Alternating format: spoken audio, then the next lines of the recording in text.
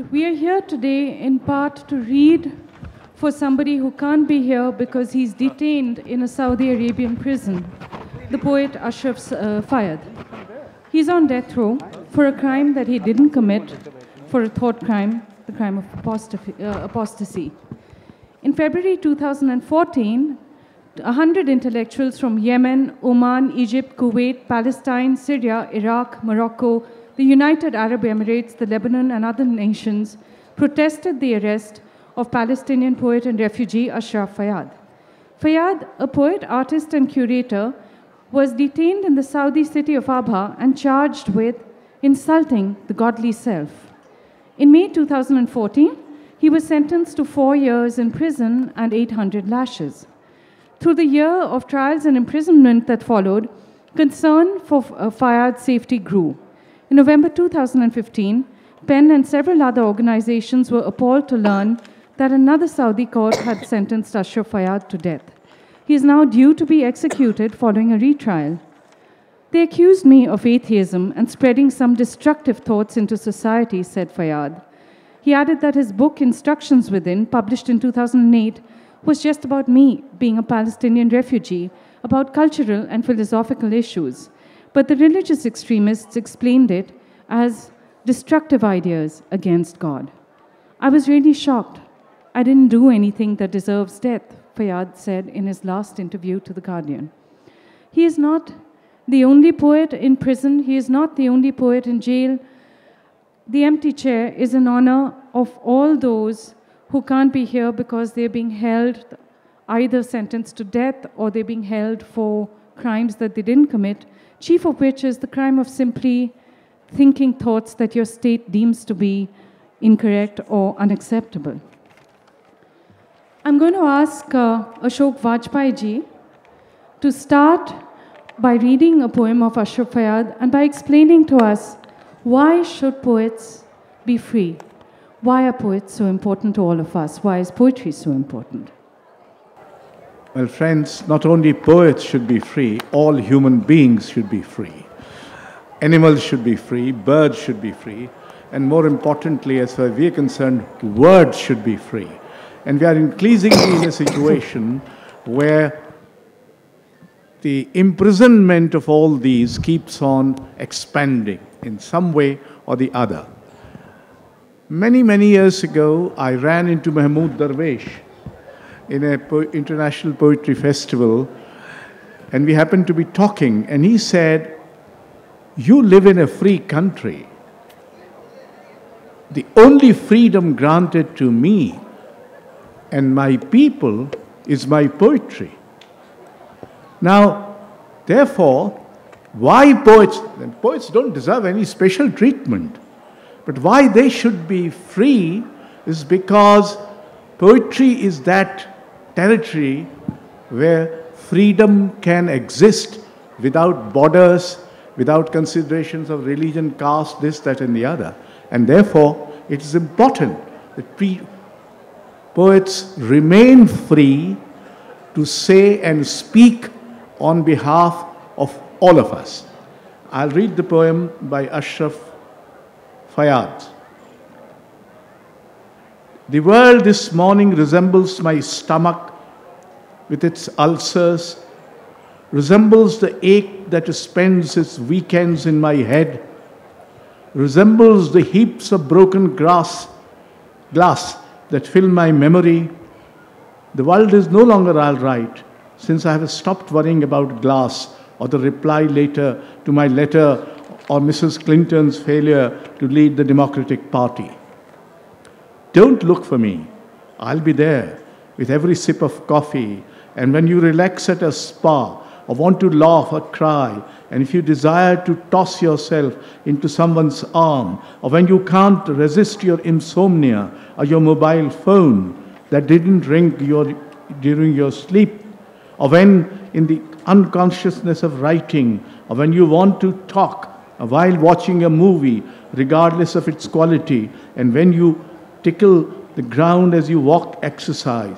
And when you hear our song, the one we have yet to agree on. This is what poetry does to you. It sings us songs on which we have yet to agree. So the choice, the freedom remains with us whether to agree that song or to listen to that song. The one we have yet to agree.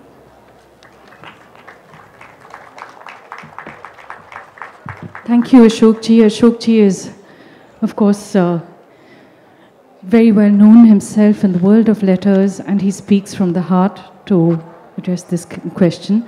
Could I ask Nirupama Dutt, who is very well known again as a poet herself, as a translator, and as a biographer, to read another poem by Ashraf and to talk a little bit about what she has seen herself and what she has witnessed?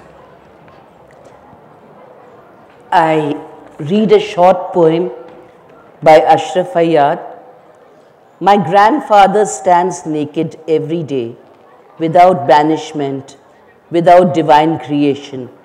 I have already been resuscitated without a godly blow in my image. I am the experience of hell on earth. Earth is the hell prepared, prepared for refugees. Few more lines. Your mute blood will not speak as long as you pride yourself in death, as long as you keep announcing secretly that you have put your soul at the hands of those who do not know much. Losing your soul will cost time, much longer than it takes to calm your eyes that have cried tears of oil. Uh, I would also like to read few lines each from a Hindi and Punjabi poet. Uh,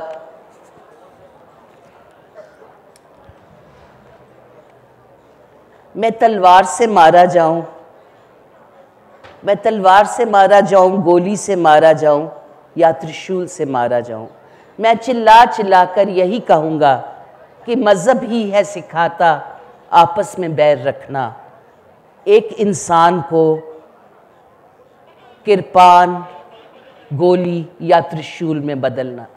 ये हिंदी के कवि कुमार विकल की कविता है। और हमने शायर मरते हुए देखे हैं। पंजाब में अवतार पाश मारा गया था। जयमल पड्डा, बलदेव मान, बहुत से सुमित सिंह जो लेखक था और कुछ लाइनें मैं पाश की जो बहुत मशहूर कविता है उसमें से बोल रही हूँ पुलिस दी मार सब तो खतरनाक नहीं होंगी लोभी अहंकार दी मुठ सब तो खतरनाक नहीं होंगी सब तो खतरनाक ਹੁੰਦਾ ਹੈ ਸਾਡੇ ਸੁਪਨਿਆਂ ਦਾ ਮਰ ਜਾਣਾ This the torture by the police is not the most dangerous. The greedy fist of capitalism is not the most dangerous. Most dangerous is the death of our dreams.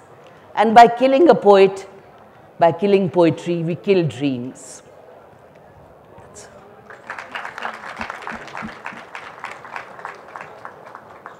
Thank you so much for sharing that. Uh, Pash's poems are so much part of Delhi as well as Punjab, and I grew up hearing his verse. It was very moving to hear about this, and I'm, I'm sorry for what you have witnessed. I, I can only hope that no more poets and no more writers and no more innocents will be killed in this country someday. Uh, Salil Tripathi is very well known for his human rights work and has also written books on Bangladesh, essays on travel, and uh, he is here in his capacity as chair of the Writers in Prison Committee of PEN International, which is a body that works for writers' rights. Uh, Salil, could I ask you to speak sure. a little bit about PEN and perhaps to read a poem of your choosing? Sure. PEN goes back to 1921 when it was founded. It's one of the oldest organizations that protect freedom, freedom to write and freedom to read. That's what it is for. And uh, it has a long history in India. Rabindranath Tagore used to be its president and among the many things we do uh, is to try to fight for the freedom of writers who are under threat or are in prison. And sometimes if they do not come out at all uh, and in, in, case they are killed then to hold vigils on their behalf or in memory of them. Um, I'm going to do three things. I'm going to read one of Ashraf's poems. Then I want to read another poem by Seamus Heaney and then some important words that are relevant to the poet's work. Asylum by Ashraf Fayaz. To stand at the end of a queue, to be given a morsel of bread, to stand, something your grandfather used to do without knowing the reason why. The morsel? You. The homeland, a card to put in your wallet, money, papers that carry images of leaders. The photo, your substitution pending your return. And the return, a mythological creature from your grandmother's tales. End of the first lesson. It's important to remember why Ashraf was arrested. One of the reasons that's been given is that he's been arrested is that he committed blasphemy. But there are credible reports that he was actually arrested because he was using his mobile phone to film the beating of workers from South Asia by the religious police in Saudi Arabia, which he later put on Twitter and Facebook. And by, by, bringing them in bad light, they wanted to get even. And one way the system is getting even with, the, with him is by sentencing him to death under blasphemy charges, which are very impossible to fight in that society. So let me write about, read another poem by Seamus Heaney, he wrote this poem on an anniversary of Amnesty International, which is again a very old human rights organization. And it's called the Republic of Conscience. When I landed in the Republic of Conscience, it was so noiseless when the engine stopped, I could hear a curlew high above the runway. At immigration, the clerk was an old man who produced a wallet from his homespun coat and showed me a photograph of my grandfather. The woman in customs asked me to declare the words of our traditional cures and charms to heal dumbness and avert the evil eye. No porters, no interpreter, no taxi. You carried your own burden, and very soon your symptoms of creeping privilege disappeared. Fog is a dreaded omen there, but lightning spells universal good, and parents hangs waddled infants in trees during thunderstorms. Salt is a precious mineral, and seashells are held to the ear during births and funerals. The base of all inks and pigments is the sea water.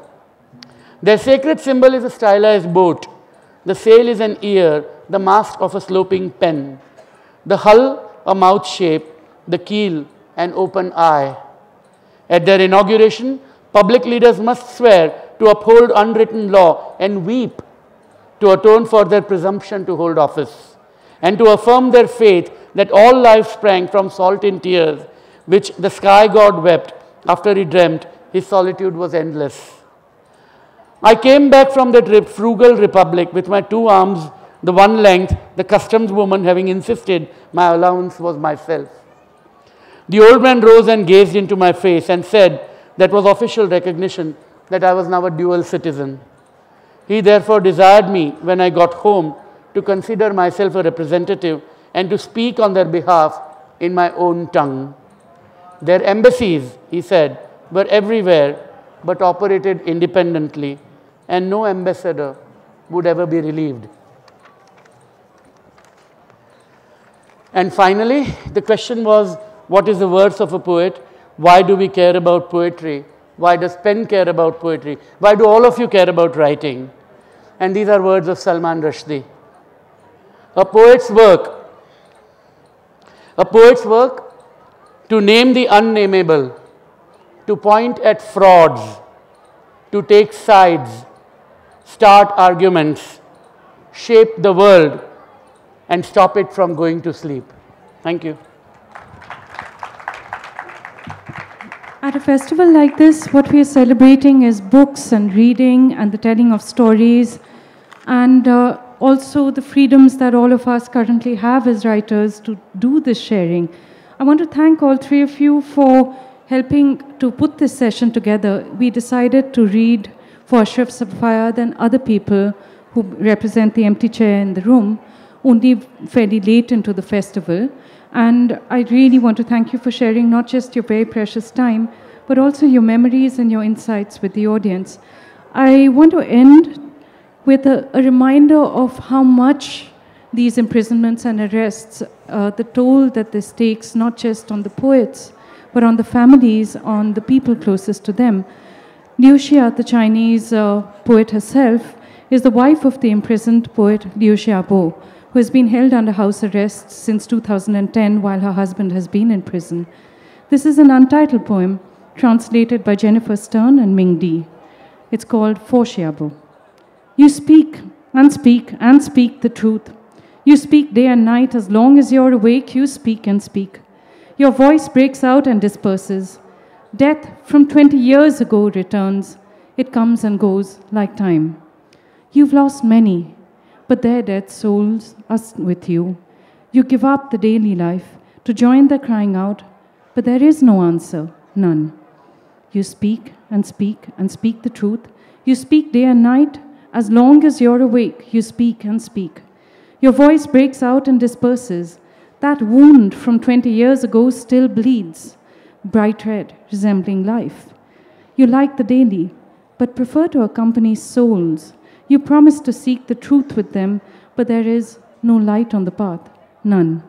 You speak and speak and speak the truth.